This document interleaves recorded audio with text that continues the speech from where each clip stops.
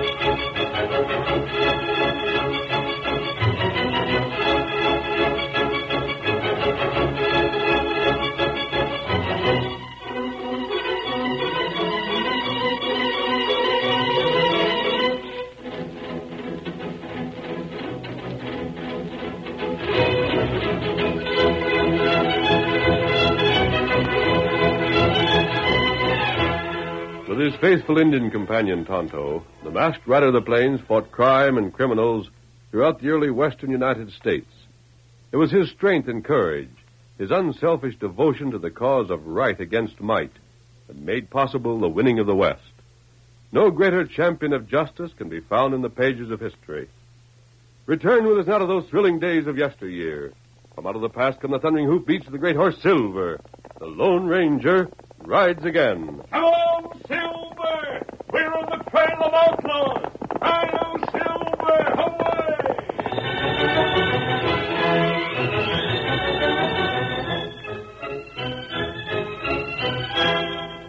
Three men had just finished eating in Tex Dolan's cafe at Plainfield. Two of the three were brothers, still in their early twenties. Their companion, however, was middle aged, a well dressed man with shrewd, kindly features. He turned to Tex, who stood beside him, and How much do we owe you, Tex? For the three, Mr. Morley, three dollars. You at the special. Wait, let me get it, Mr. Morley. I owe a small bill here anyhow. Here, Tex, take this. It's a five. That just makes it square. Uh-huh. Uh, you want anything else? That'll be all. Well, if you change your mind, holler. Ralph, you shouldn't have done that. You and Carl need your money. Oh, that's all right. Shucks, Mr. Morley. We couldn't begin to pay you back for all the times you've stood treat, even if we tried. yeah, very well. What's the matter, Ralph? Huh? He was looking at Tex like he was aching to paste him one. Maybe someday I will. what is it? Trouble between you two? Oh, it's not. You recollect when the sheriff closed his place for a while, don't you, Mr. Morley? Why, yes, I do. Well, it was on account of Ralph. Him and Tex ain't had no use for each other since. You, Ralph? Well, I understood Tex was closed because he'd been found selling whiskey to the Redskins. Yeah, but it was me that seen him. If there's any kind of an hombre I hate, it's one that'll take cash from Injuns for poison that sets him crazy. So I told the sheriff. Tex had to pay a thousand fine before he could open up again. Ah, I'm just sorry it wasn't ten thousand. Ah. It served the skunk right. Ralph, listen to me. Huh? Be careful. Tex is dangerous. If he has a grudge against you, he'll not forget it until it's paid off. You take my advice and watch out for him.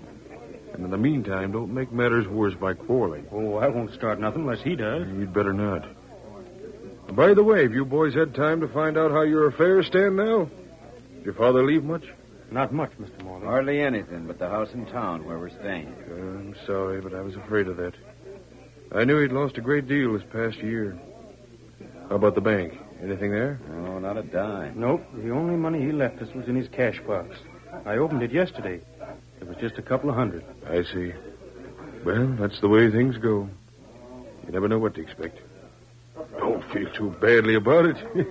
you both got your health, and I'm not sure that too much money is good for young men anyhow. it's nice to have all the same. yes, isn't it? Well, maybe I can help you in that direction. Oh, we wouldn't want to borrow anything. Oh, I didn't mean that. No? No, Ralph had something else in mind. Really, that's why I wanted to see you today. Only I don't quite know how to get the point. You see, I can use one of you. The wages will be good. There's the trouble. I can't use you both. Well, give it to Ralph then, Mr. Morley. I can make out all right. I ain't worried. No reason why you can make out any better than I can. Look, Mr. Morley, take Carl. there, you see. Just how am I going to make a choice? Well, what kind of work is it? Maybe it'd fit one of us better than it would the other. yeah. No, I don't think it would. I think either one of you could handle it. I don't get the idea it's easy, though. It isn't, I can tell you. That's why I hesitate. It called for a cool head and plenty of courage. I can't afford to make a mistake. Sounds like something interesting. It is. Yeah? Well, of course, you know that I've opened up production again on the old Lawanda mine. Uh-huh. I'll reduce the ore at the smelter there. I've made arrangements with the stage company to send a coach to pick up the bullion as needed.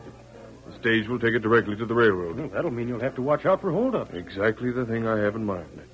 Now, two guards are going to ride that coach besides the driver. One of them will be furnished by the stage company. The other I've agreed to furnish myself. That's the job I meant. It'll be dangerous.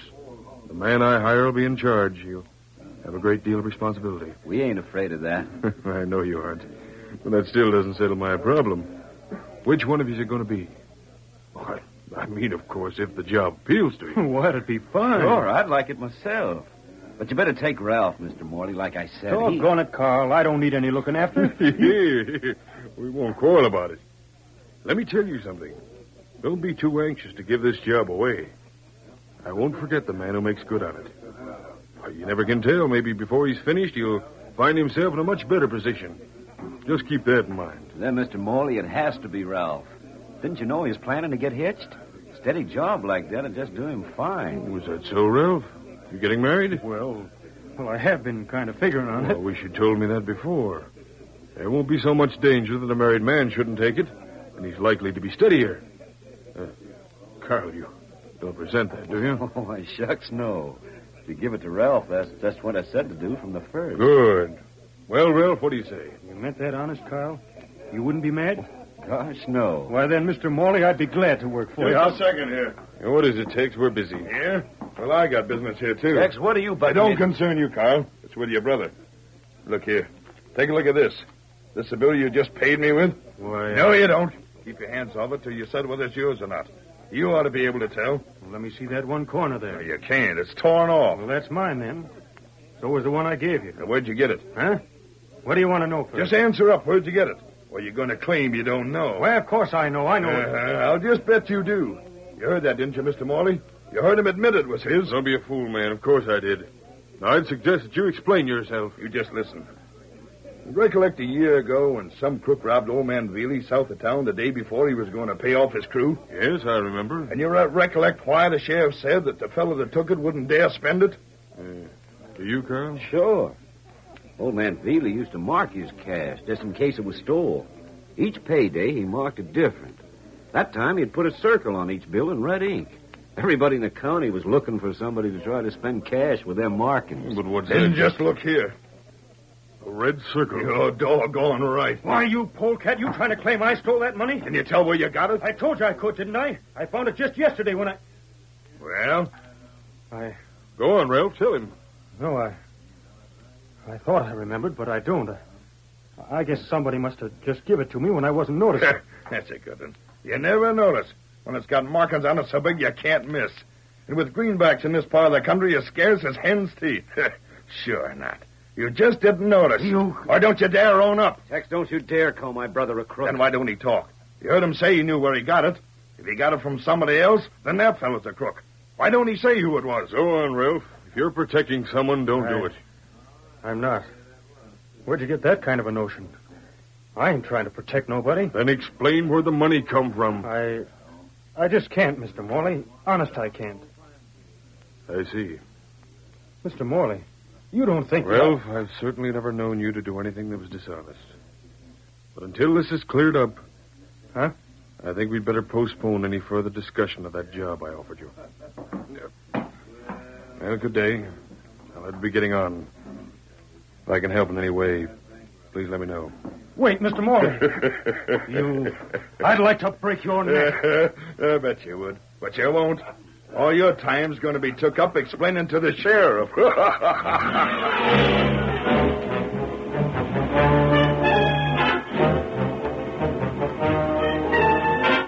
It was later in the week that the Lone Ranger learned what had happened in the cafe and told Tonto the story when he returned to their secret camp. It's being talked about all over the district, Kemosabe. Tex Dolan's seeing to that. He's practically accusing young Walker of that old robbery. I've seen the boy. If he's a thief, well, if he is Kemosabe, then I'll never again attempt to judge anyone. we help him? At least I'd like to get to the bottom of this. If he is guilty, then of course he should be punished. But if he isn't, he shouldn't be made to suffer from suspicion. His name should be cleared once and for all. Ah. There's one thing I heard that may have a bearing on this, but right now I don't see how it can be used. What that? Tex hated him. Ralph once had Tex fined for selling liquor to the Indians. Tex had threatened to get even. You think him get even this way? Perhaps. Um, and Tex feller crook. Well, here's the trouble, Tonto. We know that Tex wanted revenge, and framing Ralph might have been his way of getting it. He might even have been the man who robbed Veely. It's more logical that he did than Ralph did. How that? Ralph knew Veely from boyhood. He must have known of Veely's custom. He knew Veely never drew money from the bank without marking it immediately. So Ralph would scarcely have stolen money he knew he couldn't spend. Mm, Not right. But on the other hand, Tex came to Plainfield just a short while before the robbery. He might not have known of habit. Ah. In that case, he wouldn't have discovered until after the robbery that the money was useless to him. He'd have had to hide it someplace. And he could have used one of the bills to frame Ralph. Maybe that's what him do. I'd like to believe it, but as I started to say, here's the trouble. Ralph identified that bill as the one he'd given Tex. He recognized it as his own. How could Tex have made a substitution? Mm, me not know. And if that can't be explained, Tonto, I... Wait. What matter? I've thought of something, Kemosabe. And if it works... What that? Here, Silver. I won't explain now, Tonto. It's a chance. But a chance too thin to build hope on. Where you go? To town. Stay here. If, if my idea works, we may clear the boy in spite of Tex. That good. Come on, Silver. Hail, Silver! Away!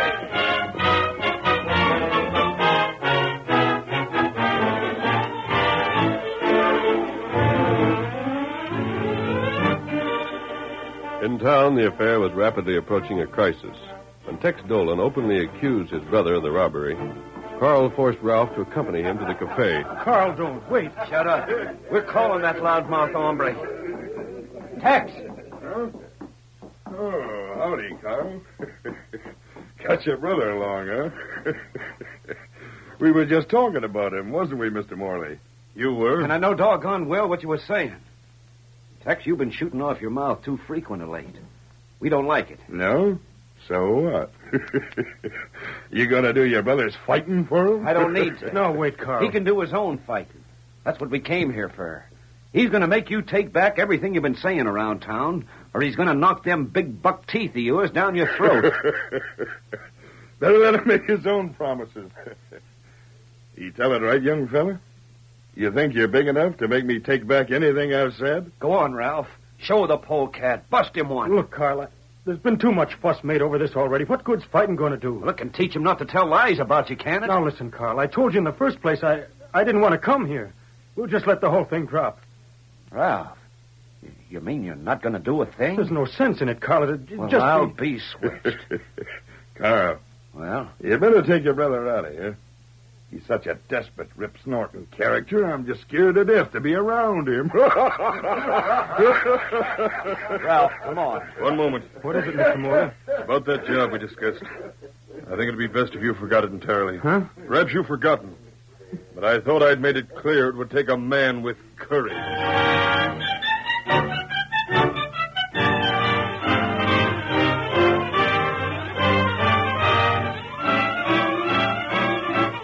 The curtain falls on the first act of our Lone Ranger story. Before the next exciting scenes, please permit us to pause for just a few moments.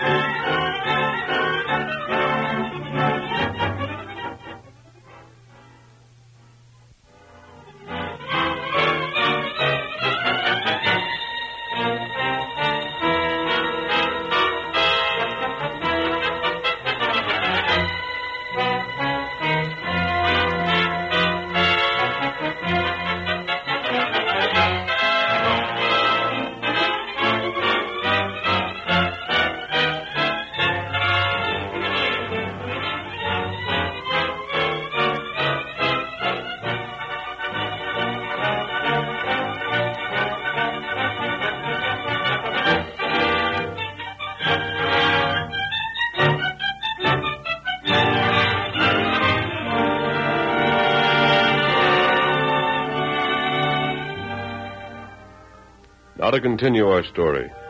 Leaving the cafe, the two brothers mounted and rode toward their home in silence. Ralph was thoughtful. Carl was too angry to talk. But finally, Doggone it all, Ralph. Were you really scared to call Tex down? You think I was, Carl? Well, you sure acted like it. I just done what I thought was best. Best. Why, don't you savvy you just made yourself look guiltier than ever? How do you figure that? Why, you stood right there in front of all them fellers and, and just the same as said you didn't want to fight because it'd make more talk. A fellow that was innocent would want to make all the talk he could. The more talk, why, maybe the sooner folks would find out the truth and the sooner it'd be cleared. Oh. But you're acting like you figured you was guilty. I'll bet when all this started, there weren't one feller in a hundred around here that thought for one second you'd stole that cash from old man Veely. And now? There's as many think you did as think you didn't. It's all your fault. We wasn't brothers, going by the way you act, I ain't so sure I wouldn't myself. Do you? Shucks, Ralph, you know I don't. But but you've been making me so almighty mad. I'm, I'm right sorry for that, Carl. No, forget it. I don't count, but what about Morley? You heard what he said back there. And there's a fellow that's always been our friend. He'd have give you a good job, but even he's off you. You take that job, Carl. Knowing you need it to get hitched to Mary? If I can't get it now, I'll. Oh, Let's not talk about it. There's a house. Let's get some sleep. Maybe you'll think over what I've said. Maybe tomorrow you'll decide to explain to folks why you've been acting so funny. I. I can't do anything different from what I have been. Yeah, then let's quit talking about it. Oh, boy. Who are they? Whoa, whoa. Ah. Helen Saddle. No, I'll. you'll stand right there. What? Nast. Ralph, What? you're going to answer some questions. I. Now, look here, mister. Who do you think you are? What's your game? This a hold-up? No. Well, then what But do your you... brother will answer my questions if I have to use force. That's a promise. Don't make trouble. That depends. What do you want to know? Ralph, I'm here as your friend. You? Now, don't interrupt. I don't expect you to believe that, so I won't insist on it. But you can answer my questions with no harm to yourself. First of all, I want to know exactly how you identified that marked $5 bill as the one you had given Tex Dolan. Hey, why are you. Quiet. Well, Ralph, You've heard about that? I have. Then you ought to know. Go on. I'm waiting to hear your story. Why, well, the bill I gave Tex to pay for the grub that day had a corner torn off it. I couldn't mistake it. But you hadn't noticed it was marked with ink? No, no, I hadn't. Think carefully before you answer this. Tex is your enemy. Is there any way in which he might have slipped that bill into your pocket before you paid him? I mean, could he have planted it on you so we'd have the chance to accuse you later? By golly, Ralph, if that's so... Sorry, Carl, but it ain't. You ought to know that yourself. When we went in the cafe that day, Tex wasn't even around. He didn't come in till later. He never come near where we was sitting till he came to collect. The barkeep? Well, same goes for him. He never came near us at all. I see. But what's Now, his- one moment. Was there anything else besides the torn corner that made you recognize that bill? Nope. Why should there have been? Weren't that enough? Possibly. Now, suppose you tell us what this is all about. I can't for the present. When you've told me one more thing, I'll leave. I know Veely had marked that particular payroll with circles in red ink. But I want to know this. How large were the circles, and just where were they placed? Well, for size, they was just about as big as a dime. Yes? And he drawed 'em right square in the center, one circle in the center of each bill. Good. That's just what I wanted to know. Here, old fellow. Before I leave, I'll tell you this, Ralph. Huh? If you're innocent, the information you've given me is going to help prove it. But I don't If- see what I... Adios. Come on, Silver. Hail, Silver! Away! Oh, doggone. Carl, what do you suppose makes a crook like him interested in this deal? Crook? Why, you blind idiot. Didn't you see that horse? Didn't you hear what he called him? And didn't that mask mean nothing to you? Huh? What do you mean? That was the Lone Ranger.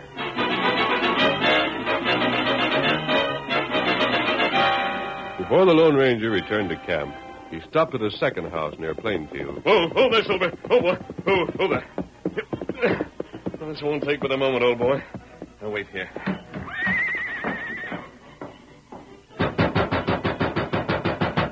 Who's there? A friend, Morley. Open up. Who'd you? An outlaw. Inside, Morley. You're going to help me bring a thief to justice.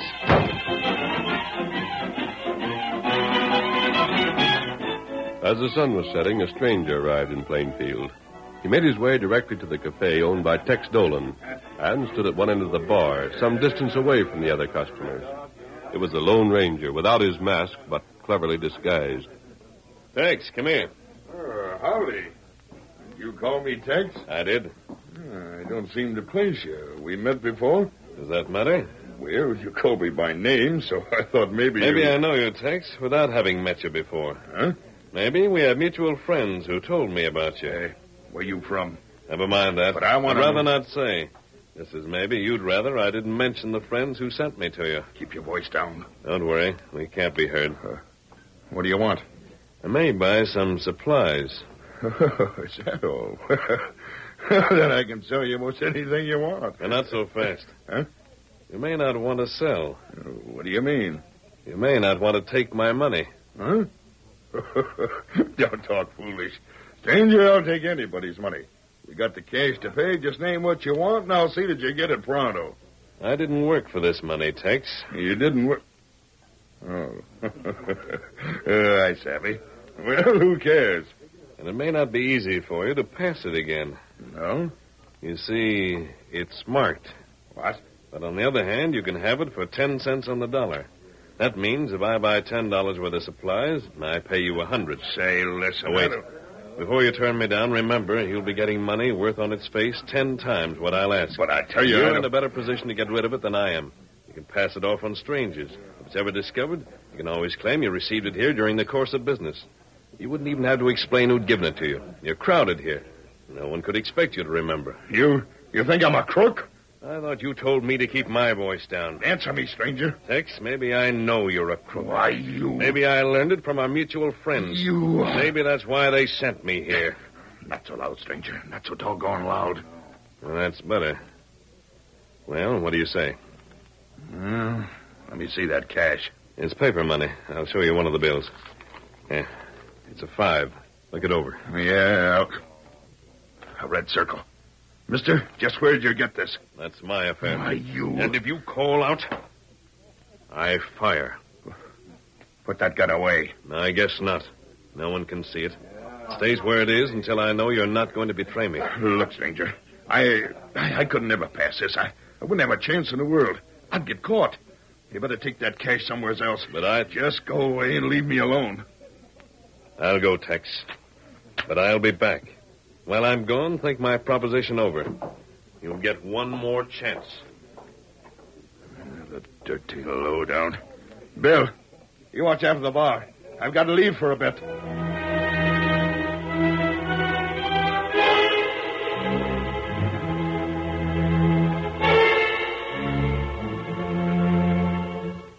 Tex ran out of the cafe, leaped into the saddle, and rode for his home at the edge of town.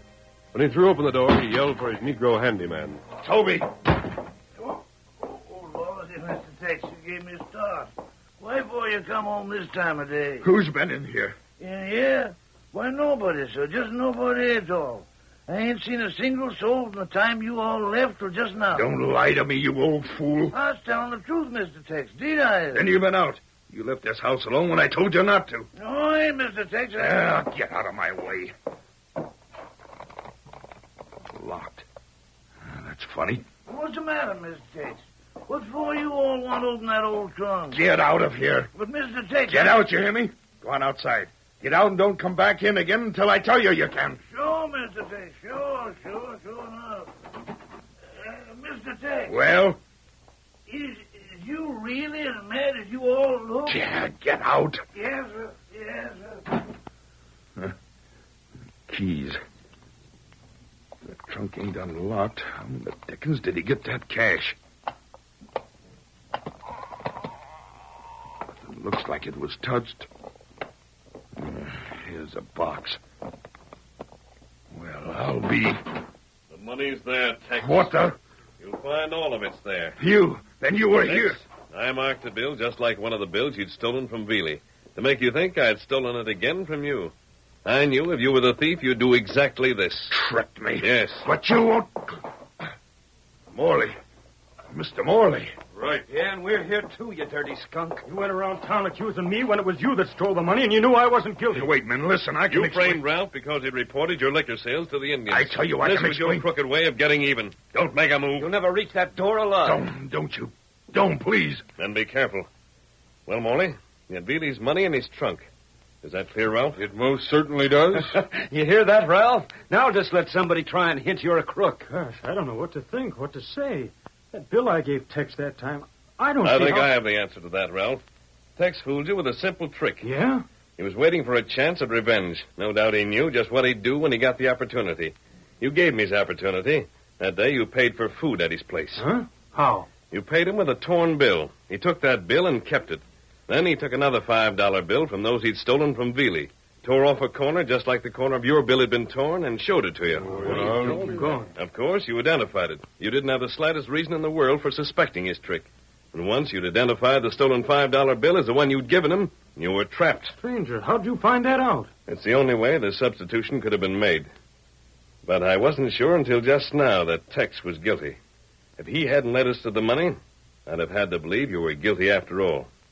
He did, however, and confessed his own guilt. Blast you. but, Ralph, Yeah, Mr. Morley? there's one thing I don't understand. I confess I misjudged you. But why, if you weren't guilty, did you behave as though you were? Why didn't you shut Tex up? Mr. Morley, the money I paid with that day came from Pa's cash box. You see, I thought I'd given Tex a marked bill. And to clear myself, I would have had to tell where it come from. That would have made it look suspicious for Pa, even though I knew doggone well he'd never been a thief. So that's why you did it. I just didn't have no choice. I'd a heap rather that folks would suspicion me than him, so I had to keep still.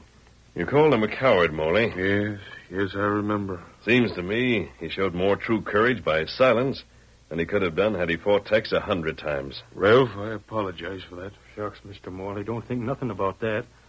I understand all right. You, uh, still want to work for me? Gosh, can I? Boys, this time both of you can.